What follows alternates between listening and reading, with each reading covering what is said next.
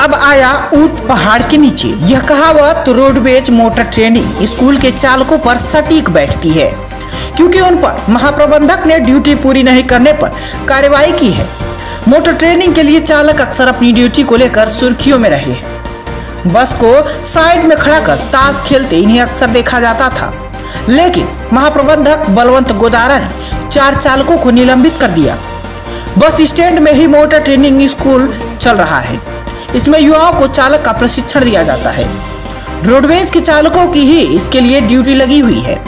इनको सुबह नौ बजे से शाम पाँच बजे तक प्रशिक्षण देना होता है। लेकिन यह चालक ड्यूटी पूरी होने से पहले ही दोपहर के बाद करीब तीन बजे बस स्टैंड पर लेकर पहुँच गए। जीएम के पास इसकी शिकायत पहुँची तो उन्होंने तुरंत कार्रवाई करते हुए उन्हें सस्पेंड कर दिया। महाप्रबंधक का कहना है कि चालकों द्वारा ड्यूटी में लापरवाही की जा रही थी। इसकी लगातार शिकायतें आ रही थी।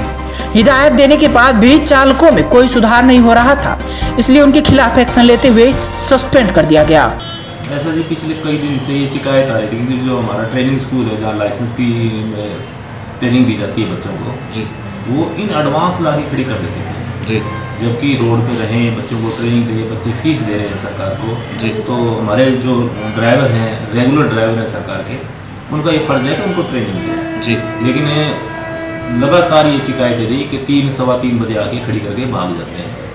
तो कल उनमें से ही एक बड़ी विडम्बना है उनमें से ही एक ड्राइवर आके यहाँ शिकायत कर रहे हैं कि देखो जी साढ़े तीन बजे गाड़ियाँ खड़ी कर दी। हम्म, जब मैं खुद गया तो वो ये बताने भूल गया कि उनमें से मैं भी एक हूँ। जी। जब मैंने जाके देखा वो चार गाड़ियाँ थी मैंने रिपोर्ट लगी चारों से कौन ये चालक थे? नाम? नाम तो एक तो राम स्वरूप है एक बाबूलाल है तो वो है।